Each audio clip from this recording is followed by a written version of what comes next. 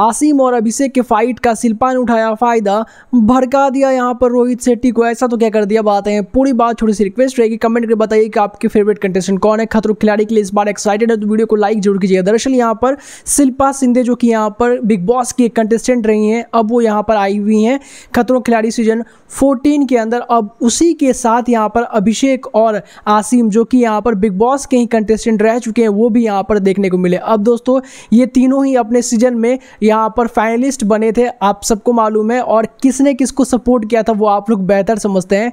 But दोस्तों, यहाँ पर जो चीज़ें हुई है खतरों खिलाड़ी में, वो आपको बताते हैं। यहाँ पर आसिम और अभिषेक के बीच में फाइट हो जाती है, और इस फाइट का फ़ायदा यहाँ पर जो उठाते हुए नज़र आती हैं, शिल्पा सिंधे। दरअसल दोस्तों, शिल्पा सिंधे का कैरेक्टर हम सबको मालूम है कि वो किस तरह का चीज़ें, किस तरह की चीज़ें करती है, और वो किस तरह की इंसान है। हम सबने यहाँ पर जो है बिग बॉस एलेवन में देखा था, और सबने अपने अपने तरीके से जज किया था। कुछ लोगों को शिल्पा जी बहुत ज़्यादा पसंद आई थी और कुछ लोगों को यहाँ पर जो है शिल्पा उतनी पसंद नहीं आई थी। बट दोस्तों, वो कंटेस्टेंट बहुत ही अच्छी थी, इसकी वजह से वो यहाँ पर फाइनलिस्ट भी बनी थी। बट बात कर ले यहाँ पर जो चीज़ें हुआ है और कैसे यहाँ पर जो है शिल्पा ने भड़काने की कोशिश यहाँ पर रोहित शेट्टी के सामने किया है, जब अभिषेक और आसिम के बीच में फाइट हुआ दरअसल दोस्तों, अभिषेक और आसिम दोनों ही लगभग लगभग सेम नेचर के ही हैं। अब उन दोनों के बीच में क्लैश हो जाता है एक पॉइंट को लेकर के, जहाँ पर आसिम को ऐसा लगता है कि इस शो के अंदर जो भी कंटेस्टेंट है, सब यहाँ पर आसिम के दुश्मन ही हुए बट दोस्तों, ऐसा है नहीं। अब आसिम इस चीज़ को थोड़ा सा सीरियस और बिग बॉस वाले अंदाज में लेके चल रहे हैं बट ऐसा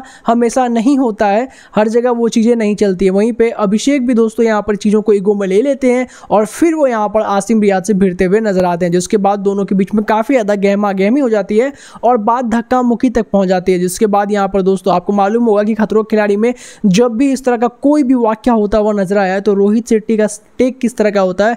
बेसिकली रोहित शेट्टी सर बहुत ज़्यादा गुस्से में आते हैं और बोलते हुए नज़र आते हैं कि ये क्या बना दिया है तुम लोगों ने?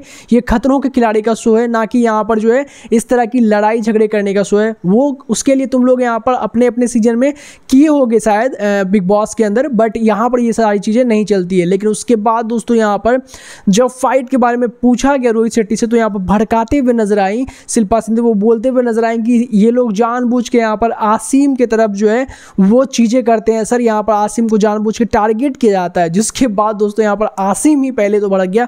बोला कि, सर, यहाँ पर मुझे कोई टारगेट नहीं कर सकता। ये लोग एक ग्रुप है जो मेरे पीछे पड़े हुए बट मुझे इससे फ़र्क नहीं पड़ता है। जिसके बाद यहाँ पर बोलते हुए नज़र आते हैं, वो एक फैसला लेते हैं कि मैं ये एक लास्ट और पहला वार्निंग दे रहा हूँ। इस तरह की कोई भी हरकत अगर इस शो के अंदर दोबारा देखने को मिलती है तो मैं किसी को भी नहीं छोड़ूँगा। जिसके बाद यहाँ पर वो बहुत ज़्यादा गुस्से में आ जाते हैं, लेकिन शिल्पा भड़काते हुए नज़र आते हैं और बोलते हैं, सर, इसके लिए तो इनको सज़ा मिलनी चाहिए, क्योंकि उन्होंने बहुत ज़्यादा ऊपर जाकर काम किया है। दोस्तों, आपको क्या लगता है क्या यहाँ पर शिल्पा यहाँ पर जो है वो भड़का रही है या फिर किसी एक को जानबूझ के सपोर्ट करिए कमेंट करके ज़रूर बताइए